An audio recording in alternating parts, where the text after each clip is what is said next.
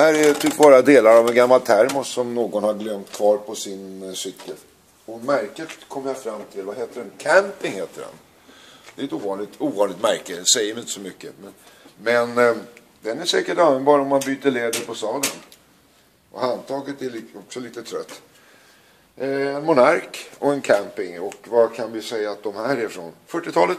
30-40-talet? Inga höjdare kanske. Men eh, fullt användbar efter lite lätt åtgärd så ska man väl kunna ta sig fram på dem också. Pumpardäcken är inte fel.